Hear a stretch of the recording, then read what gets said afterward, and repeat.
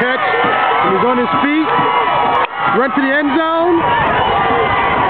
Touchdown, Dunbar. It's a 79-yard touchdown catch by Travon Garrett. 79 yards, no flag.